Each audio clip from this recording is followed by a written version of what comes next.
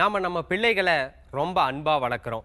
கூடவே நிறைய செல்லம் கொடுக்குறோம். அவங்க சொல்கிறதுக்கெல்லாம் சரின்னு சொல்கிறோம் கேட்குறதெல்லாம் வாங்கித்தரோம் ஆனால் எல்லா சமயங்கள்லையும் அப்படி இருக்க முடியுமா அப்படின்ற ஒரு கேள்வி வருது.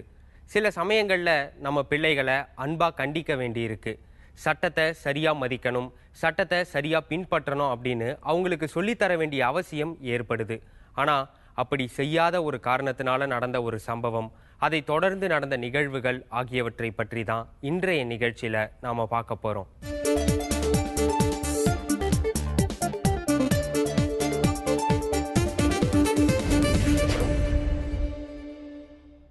ஹிதேந்திரன் இந்த பேரை சொன்னதுமே அந்த சம்பவம் நிறைய பேருக்கு ஞாபகத்துக்கு வந்திருக்கும். ஆமாம் அதே தான் சொந்த சோகத்தை உள்ளே போட்டு மறைச்சிட்டு மற்றவங்களுக்கு நல்லது செய்ய துணிஞ்ச ஒரு பெற்றோரோட கதை தான் இது. ஒரு பைக் விபத்தில் ஹிதேந்திரனுக்கு மூளைச்சாவு ஏற்படுது. அவனோட இதயத்தையும் மற்ற உறுப்புகளையும் அவனுடைய பெற்றோர் மற்றவர்களுக்கு தானமாக கொடுத்தாங்க. உறுப்பு தானம் என்ற நல்ல விஷயத்தை பற்றிய விழிப்புணர்வை இந்த துயர சம்பவம் ஏற்படுத்தியது.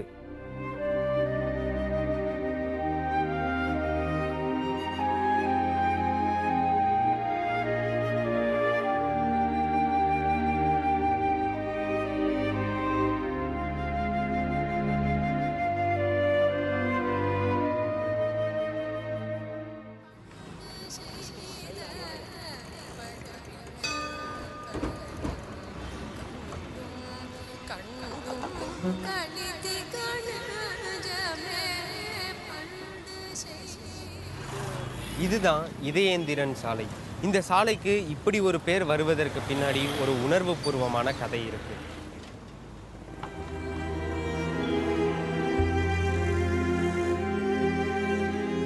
அசோகன் புஷ்பாஞ்சலி அப்படிங்கிற டாக்டர் தம்பதியோட மூத்த பையன்தான் இதேந்திரன் பதினஞ்சு வயசு.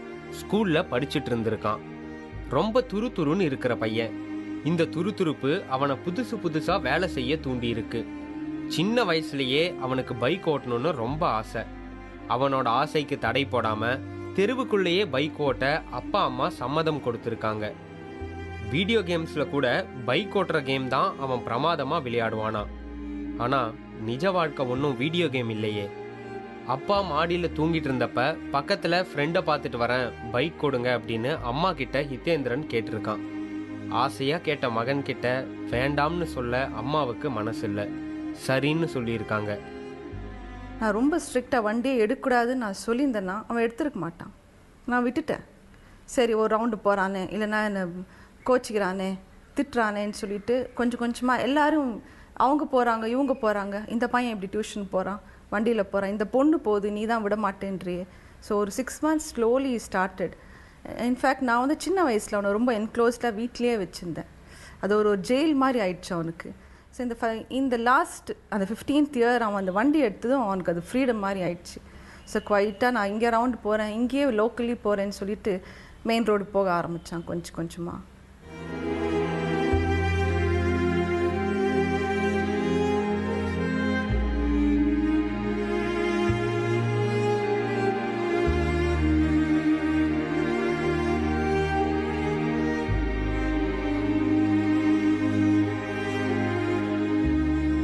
பைக்கை எடுத்துட்டு போன ஹிதேந்திரன் வீட்டுக்கு முழுசா திரும்பல.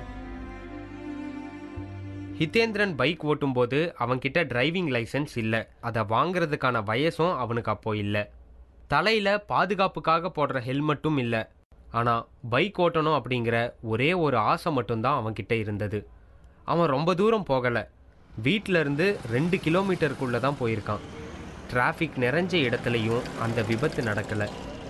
எதுக்கு இதை நாங்கள் சொல்கிறோன்னா ரொம்ப தூரம் போகிறதுனா தான் சிலர் ஹெல்மெட் போடுவாங்க. டிராஃபிக் நிறைய இருக்க இடத்துல மட்டும்தான் சிலர் கவனமாக இருப்பாங்க. ஆனால் அதெல்லாம் மிகப்பெரிய தவறுன்னு இந்த சம்பவம் சொல்லுது. எப்போவுமே ஹெல்மெட் போடணும். சாலையில் எப்போவுமே ரொம்ப கவனம் வேணுங்கிறத இந்த சம்பவம் நமக்கு உணர்த்துது. சாயங்கால நேரம் அந்த ஆறு ஆறரை மணிக்கு வந்து ஒரு மீன்பாடி வண்டியில் மர முட்டுகள்லாம் இருந்திருக்கு. அதை ஓரமாக நிறுத்திட்டு அந்த ஆள் இங்கே போயிருந்திருக்காரு. இவன் எதிர்க்க வரும்போது அந்த மரம் எவ்வளோ வெளியே நீட்டிருக்குன்றதை வந்து அவனால் ஜட்ஜ் பண்ண முடியல. எதிர்க்க வண்டி ஒரு வண்டி வரும்போது லைட் அடிக்கிறதுனால இவன் அதை கவனிக்காமல் வந்திருக்கான். அந்த முட்டு நீட்டிருக்கு தெரியாமல் அவன் கிட்ட வரும்போது நெத்தில அடிபட்டு கீழே விழுந்துட்டு இருக்கான் அவன். அந்த அரை மணி நேரம் வரைக்கும் யாருக்குமே தெரியாது. யாரோ ஒருத்தர் வழியில் படுத்துங்கிறாங்கன்னு சொல்லி திருப்பும்போது தான் முகத்தை பார்த்து டாக்டர் பிள்ளைன்னு சொன்னாங்க அவனை ஆக்சிஜன் மட்டும் வச்சுட்டு ஒரு ட்ரிப்பு ஒன்று ஸ்டார்ட் பண்ணிவிட்டு அங்கேருந்து அப்படியே அந்த மயக்க நிலையிலேயே குழந்தைய வந்து சென்னைக்கு அழைச்சிட்டு போகணும். தேனாம்பேட்டில் இருக்கக்கூடிய தனியார் மருத்துவமனையில் வந்து போய் குழந்தைய காட்டணும். அவங்க வந்து எங்களுக்கு உடனே ஸ்கேன் எடுத்து ஹோப்பு தரல. ஒரு சதவீதம் கூட அவன் பிழைக்கிறதுக்கு வாய்ப்பு இல்லை சார். என்ன வந்து அறுவை சிகிச்சை பண்ணி பார்க்கலாம் அப்படின்னாங்க. ஆனால் எந்த நிலையில் குழந்தை வந்து ஆப்ரேஷன் தேட்டருக்குள்ளே போனானோ அதோட மோசமான நிலையில் தான் ஒரு ரெண்டரை மணி இருக்கும் ராத்திரி அவனை கொண்டு வந்தாங்க. மொட்டை அடிச்சிட்டு அவனுக்கு பேண்டேஜ் எல்லாம் கட்டி அந்த நிலையிலேருந்து அவன் மாறவே இல்லை. ஒரு கண் அசைவோ இல்லை க காலு கை அசைவோ ஒன்றும் இல்லை. அப்போவே போயிட்டான் அவன் தேட்டர்லேயே அவன் அந்த மூளைச்சாவு அடைஞ்சிட்டான். பொதுவாக வந்து மருத்துவமனையில் வந்து நம்ம உறவினர்களை வந்து ஆப்ரேஷன் தேட்டருக்கு எதுக்கு அனுப்புவோம்? ஆப்ரேஷன் பண்ணிவிட்டு நல்லபடியே திரும்பி வரணும் அப்படின்ற ஒரு எண்ணத்தோடு அனுப்புவோம். ஆனால் எங்கள் சூழ்நிலை வந்து இது வேறு மாதிரி இருந்தது. எங்கள் பிள்ளைய வந்துட்டு முழுசாக உறுப்புகளை வந்து கொடுத்துட்டு அவனுக்கு வெறும் உடலை மட்டும் வாங்குறதுக்கு நாங்கள் தயாரானோம். உறுப்புகள் தானத்துக்கு ஹிதேந்திரனோட அப்பா அம்மா சம்மதிச்ச பிறகு அதை வெற்றிகரமா மற்றவர்களுக்கு பொருத்துவது டாக்டர்கள் கையில தான் இருக்கு. இப்போ ஒருத்தர் பிரெயின் டெத் அப்படின்னு டிசைட் பண்ணுறதுக்கு சில க்ரைட்டீரியா இருக்குது ரெண்டு நியூரோ டாக்டர் வந்து அந்த பேஷண்ட்டை எக்ஸாமின் பண்ணணும். அதாவது ம- வைத்தியம் செய்கிற மருத்துவரை தவிர அது இல்லாமல் இன்னும் ரெண்டு நியூரோ டாக்டர் பேஷண்ட்டை எக்ஸாமின் பண்ணணும் அதுக்கு கவர்மெண்ட் ஒரு பேனல் அப்பாயிண்ட் பண்ணிருக்கு. இந்தந்த டாக்டர்ஸ் வந்து எக்ஸாமின் பண்ணலாம் அப்படின்னு. அவங்க ஒரு குறிப்பிட்ட நேரம் கேப் விட்டு சில டெஸ்ட்டுங்களை பண்ணும். அந்த டெஸ்ட்டை பண்ணி அவங்க வந்து பேஷண்ட் வந்து பிரெயின் டெத்தா இல்லையான்றதை டிக்ளேர் பண்ணுவாங்க. அந்த மாதிரி டிக்ளேர் பண்ணதுக்கப்புறம் ஹாஸ்பிட்டல்ஸில் வந்து கவுன்சிலிங் டீம்னு ஒன்று இருப்பாங்க. அந்த கவுன்சிலிங் டீம் வந்து பேஷண்ட்டோட ஃபேமிலியை அப்ரோச் பண்ணி இந்த மாதிரி பேஷண்ட் வந்து பிரெயின் டெத் ஆயிருக்கு. இனிமேட்டு வந்து பேஷண்ட் பிழைக்கிறதுக்கான வாய்ப்புகள் ஒன்றுமே இல்லை. என்ன வைத்தியம் பண்ணாலும் அவர் வந்து பிழைக்க மாட்டார். அவருக்கு வந்து இருக்கிற உறுப்புகள் வந்து வீணாக போகிறத தவிர வீணாக போகாமல் இருக்கிறதுக்காக மற்றவங்க யாருக்காச்சும் இந்த உறுப்புகளை கொடுக்கலாமா அப்படின்றதுக்காக அப்ரோச் பண்ணுவாங்க ஃபேமிலியை ஃபேமிலியை வந்து கவுன்சில் பண்ணி அவங்க டிஸ்கஸ் பண்ணி ஒத்துக்கிட்டாங்கன்னா அந்த பிரெயின் டெத் ப்ரோட்டோகால் வந்து இனிஷியேட் பண்ணி அந்த பிரெயின் டெத்துன்னு டிக்ளேர் ஆனதுக்கு அப்புறமேட்டு ஆர்கன் டொனேஷனுக்கு பேஷண்ட்டை எடுத்துகிட்டு போவாங்க. ஹிதேந்திரன் விபத்துக்கு அப்புறம் நடந்த விஷயங்கள் எல்லாமே ரொம்ப பரபரப்பானவை. உறுப்பு தானம் மூளைச்சாவு இது குறித்தெல்லாம் தமிழ்நாட்டில் பெரிய விழிப்புணர்வை ஏற்படுத்தியவை. அது என்னங்கிறத தொடர்ந்து பார்ப்போம்.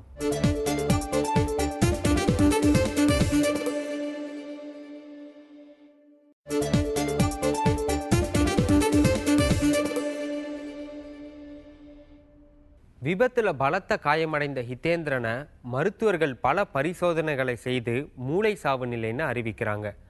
மூளை சாவுன்றது செயலற்ற நிலைக்கு உடல் போயிடுறது தான் அவங்களால இயற்கையாக சுவாசிக்க முடியாது. எந்த உணர்வும் அவங்களுக்கு இருக்காது. மீண்டும் அவங்கள உயிர்ப்பிக்க இயலாத ஒரு நிலை. அந்த மூளை சாவு ஏற்படுற சமயத்தில் செயல்பட்டு கொண்டிருக்கும் உறுப்புகளை மற்றவங்களுக்கு கொடுக்கறது மூலமாக உதவ முடியும். ஆனால் அது ரொம்பவே கஷ்டமான முடிவு. பெற்றோர்களோ நெருங்கிய உறவினர்களோ தான் அந்த முடிவை எடுக்க முடியும். அந்த முடிவை ஹிதேந்திரனுடைய பெற்றோர்கள் எடுத்தாங்க. முடிவு எடுத்தால் மட்டும் போதாது. அந்த உறுப்புகளை மற்றவங்களுக்கு பொருத்துவதற்கு பலரோட உதவிகள் தேவை. எந்த ஒரு தூண்டுதலும் இல்லாமல் அந்த ஃபாதர் என் குழந்தை வ- உயிரோட வரலனா கூட அவங்க உறுப்புகள் எங்கேயாவது வாழணும். அதாவது குழந்தை உயிரோடு இருக்கும் போதே இந்த ஃபாதருக்கு வந்து அந்த மனப்பக்குவம் அப்பயே வந்துடுச்சு. That I could not uh, என்னால் ஏற்றுக்கவே முடியல. எப்படி ஒரு குழந்தை இருக்கும் போதே அந்த அதோடைய உறுப்பை கொடுக்கணுன்ற மனசு வந்து அந்த father was so doctor Ashok I cannot forget him in life அதுக்கு துணையாக அந்த ஒய்ஃப் இருந்தது வந்து இட்ஸ் டூ மச் அண்ட் அதாவது குழந்தை உயிரோடு இருக்கும் போதே அவன் கண்டிப்பாக வெளியே வரமாட்டான்றது அவங்களுக்கு உணர்ந்து. அடுத்து அப்போவே இங்கே சிடி ஸ்கேன் ரூமில் நான் ரிசல்ட் சொல்கிறதுக்கு முன்னாடியே they could know what's happening ஹிதேந்திரனுடைய இதயத்தை ஒரு சிறுமிக்கு பொருத்தலாம்னு டாக்டர்கள் சொன்னாங்க. சிறுமி இருந்ததோ சென்னையின் மற்றொரு முனையில் இருந்த ஒரு மருத்துவமனையில். உடம்புல இருந்து இதயத்தை எடுத்த பிறகு அது உயிரோடு இருப்பது கொஞ்ச நேரம்தான். அதுக்குள்ள இதயத்தை அந்த மருத்துவமனைக்கு கொண்டு போய் சேர்க்கணும். நேரம் காலமே இல்லாமல் எப்பவுமே போக்குவரத்து நெரிசல் இருக்கக்கூடிய நம்ம சென்னையில் எப்படி இதை செய்து முடிக்க முடியும்? ஆனால் அன்னைக்கு இதை காவல்துறை உதவியோடு செய்து முடிச்சிருக்காங்க. அசிஸ்டன்ட் கமிஷனர் வந்து அங்கே வெயிட் பண்ணிகிட்டு இருந்தார் இவர் தான் நம்ம பையனுடைய இருதயத்தை எடுத்துகிட்டு போக போகிறாங்க அப்படின்னாங்க. எனக்கு வந்து என்ன நடக்குதுன்னே தெரியல. ஏன்னா ரெண்டு நாளாக நாங்கள் சரியாக சாப்பிடலை. அந்த மயக்க நிலையில் என்ன நடக்குதுன்னே தெரியல. நானும் அமைதியாக அங்கே உட்காந்துட்டு இருந்தேன் அதுக்கப்புறம் வந்துட்டு கீழ்ப்பக்கமாக எடுத்துகிட்டு போகிறாங்கன்னு நானும் எங்கள் மனைவியும் கீழே இறங்கி வந்தோம். அந்த லிஃப்ட்டில் அவனுடைய இருதயத்தை வந்து அந்த ஐஸ் பொட்டியில் வச்சு ஆம்புலன்ஸில் எடுத்துகிட்டு போகிறதுக்கு கீழே இறங்கி வந்தாங்க. அந்த செரியன் ஆஸ்பத்திரியில் சேர்ந்த ஒரு டாக்டரும் இன்னொரு உதவி மருத்துவர் எல்லாம் சேர்ந்து எடுத்துகிட்டு வந்தாங்க.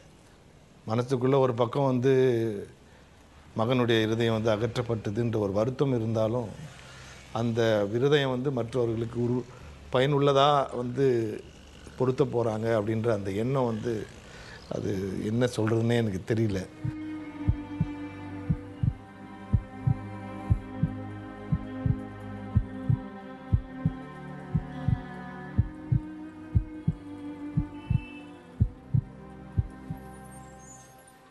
I immediately uh, uh, I put my entire team into action, and uh, the entire plan was laid out. And first of all, uh, நான் கண்டிப்பாக சொல்லணும் இது இது வந்து- இது வந்து ஒரு team effort it was a team effort of the Chennai traffic police to ensure that uh, uh, it goes in safe hands, immediately one assistant commissioner and uh, in a police vehicle, in a uh, tra- traffic department vehicle, with the driver of the traffic department um, was placed at uh, Tanampet. And once uh, uh, doctor uh, harvesting kapra, uh, organ harvesting kapra ready immediately the entire traffic uh, people who were posted at uh, the important points were alerted and uh, a, route was decided after discussion with all the officers of the traffic and we started that uh, uh, we started that uh, shifting this organ and it took about uh, 11 minutes uh, for the organ to reach uh, Lifeline Hospital.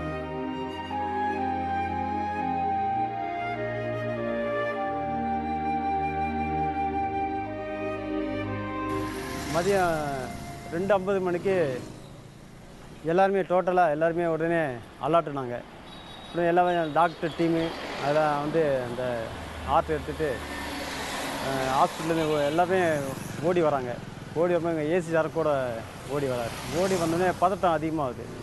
உடனே அவங்க medical team வந்து அவங்க வண்டியில் ஏறாமல் எங்கள் police வண்டியிலேயே medical டீமும் doctor டீமும் எங்கள் ஏசி சார் எல்லாருமே சேர்ந்து எங்கள் போலீஸ் வண்டியில் எல்லாமே ஏறிக்க உடனே கிளம்புற வேகமாக எங்கள் உயரில் எங்கள் உயர் அதிகாரி வந்து அந்த நேரம் சுனில்குமார் சார் இருந்தார் அவர். அவர் வந்து உடனே நம்ம உயர்லக்ஸில் பேசுகிறாரு நந்தன சிக்னல் கட் பண்ணுங்கள் பர்க் ரோட் சிக்னல் கட் பண்ணுங்கள் லாயலா க லாயலா சிக்னல் கட் பண்ணுங்கள் அப்படின்னு சொல்லி அவர் வந்து மைக்கில் சொல்லிகிட்டே இருக்காரு. எங்கள் ஏசி மனோகர் சார் அதுக்கேற்ற மாதிரி அவர் பதில் சொல்லிகிட்டே வர்றாரு. அப்படி சொல்ல சொல்ல வந்து என்னுடைய வேகம் வந்து ரொம்ப அதிகமாகிட்டே இருக்குது ஏதோ ரொம்ப அவசரம் போல் ஒரு இது எண்ணம் வந்தாலும் அப்போ தான் நான் வேகத்தை ரொம்ப அதிகமாக வண்டி ஓட்டும் போது நல்லபடியாக வந்து ஹாஸ்பிட்டலுக்கு போய் சேர்ந்துடுறோம் போலீஸ் டிபார்ட்மெண்ட் டிராஃபிக் இவங்கெல்லாம் வந்து நல்லா ஒத்துழைக்கிறாங்க. ஒரு ஆர்கனை கொண்டு போகிறோம்னா அந்த ரோடு ஃபுல்லாக பிளாக் பண்ணி வச்சு ஒன்லி அந்த வெஹிக்கிள் மட்டும் போகிறதுக்கான ஃபெசிலிட்டிஸ் எல்லாம் பண்ணி ஆர்கன் எவ்வளோ சீக்கிரம் அடுத்த ஹாஸ்பிட்டல் போக முடியுதோ அந்த அளவுக்கு ஏற்பாடு பண்ணிடுறாங்க. எல்லாருடைய ஒத்துழைப்பும் இருக்கிறனால தான் இது வந்து சக்ஸஸ்ஃபுல்லாக நடக்குது. பேஷண்ட்ஸோட ஃபேமிலி வந்து எங்களால் இந்த ஆர்கனை கொடுக்குறோம். இதனால் இன்னொருத்தருக்கு நல்ல ஒரு வாய்ப்பு இருக்குன்றனால அவங்க செய்கிறாங்க அவங்க சைடில் கவர்மெண்ட் சைடில் வந்து ப்ராசஸ் வந்து கமர்ஷியல் ஆகாமல் பார்த்துக்கிறாங்க போலீஸ் சைடில் வந்து டிரான்ஸ்போர்ட் எல்லா ஃபார்மாலிட்டிஸும் பார்த்துக்கிறாங்க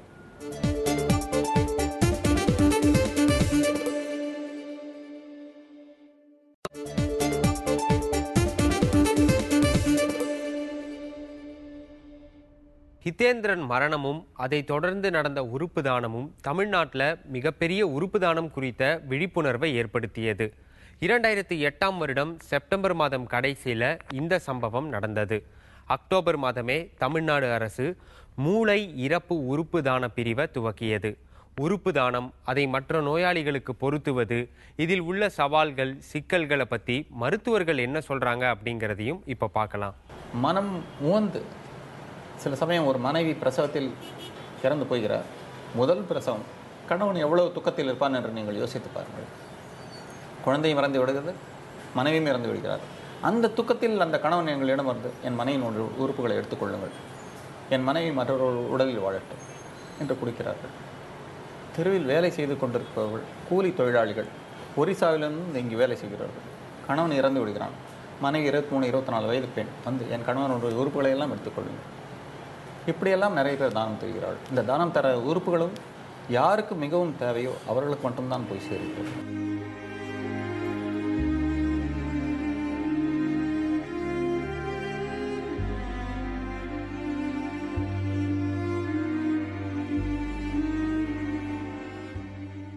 Response is much better. Much better. ஆனால் இப்போ என்ன ப்ராப்ளம் டோனர்ஸ் கிடைக்கிது. ஆனால் ரெசிபியன்ஸ் இல்லை. ரெசிபியன்ஸுக்கு பைசா இல்லை.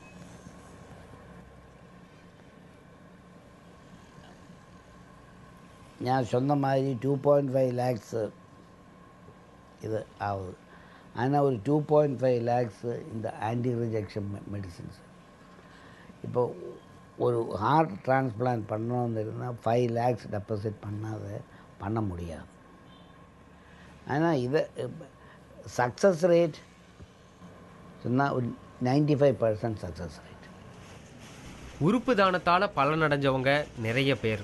அவங்கள இப்போ சந்திக்கலாம். எங்கள் என் உடம்புல சுகர் இருக்கிறதுனால கொடுக்க முடியல. அதுக்காக இறந்தவங்க கிட்னிக்கு பதிவு பண்ணியிருந்தோம். பதிவு பண்ணி ரெண்டு வருஷம் ஆச்சு. இப்போ கியூ வந்ததுன்னு ஃபோன் பண்ணி சொன்னாங்க. வந்தோம். வந்து ஒரு ரெண்டு வாட்டி கொஞ்சம் பிரச்சனை இருந்ததுனால சொன்னாங்க. திரும்பி ட்ரீட்மெண்ட் கொடுத்தாங்க. நல்லா சரியாயிருச்சு. அதுக்கப்புறமா இப்போ கிட்னி மாற்றி வச்சுட்டேன். உயிரிழந்தவர் வந்து அவர் உயிரை கொடுத்து என் உயிரை காப்பாற்றிருக்காரு இந்தமாரி எல்லாரும் முன் வந்தாங்கன்னா என்னமாரி பாதிக்கப்பட்டவங்க ரொம்ப கஷ்டத்துலேருந்து நீங்கி நல்லா ஆரோக்கியமாக வாழ முடியும். இது எனக்கு ஒரு மறுபிறப்பு மாரி கொடுத்துருக்காங்க. டாக்டருங்க ரொம்ப கேர்ஃபுல்லாக பார்த்து என்னை ரொம்ப அக்கறையோடு அடிக்கடிக்கு அடிக்கடி வந்து கவனித்து மூச்சுத்திறன்லேருந்து காப்பாற்றி நான் இப்போ ரொம்ப நல்லா ஆரோக்கியமாக இருக்கேன். மாத்திரை மருந்தெல்லாம் நல்லா காஸ்ட்லியான மாத்திரைலாம் நல்லா கொடுக்குறாங்க. இதெல்லாம் நம்ம வெளியில் வாங்கி சாப்பிட்றது ரொம்ப கஷ்டம்.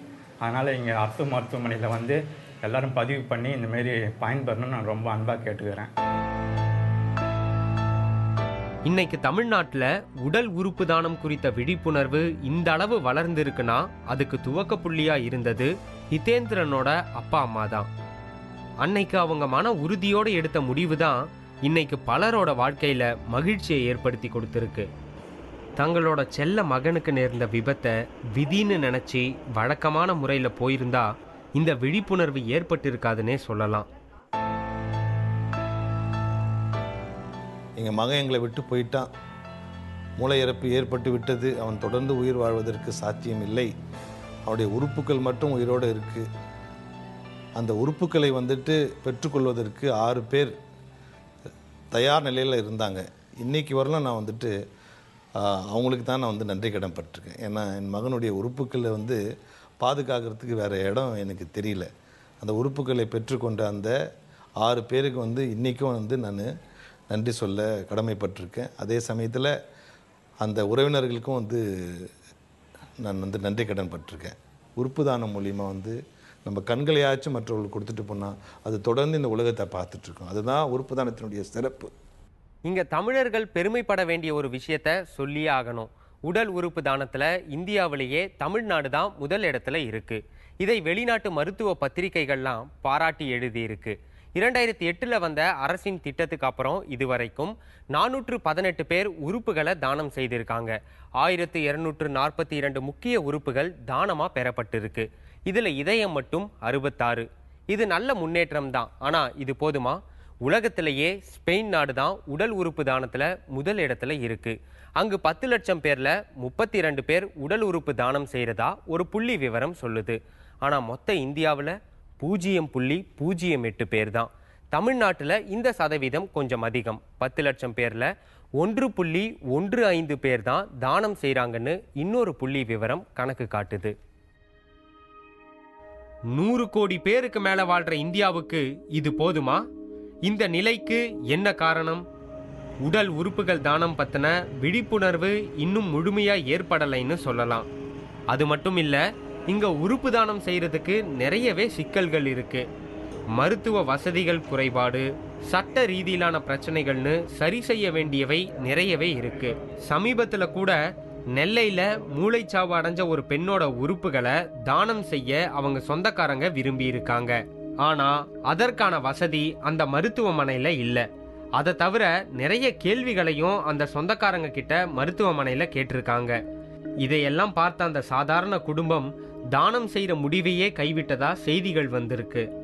இன்னொருவருக்கு உயிர் கொடுக்க முடிகிற உடல் உறுப்புகளை வீணாய் மண்ணுக்கு கொடுப்பது சரியா?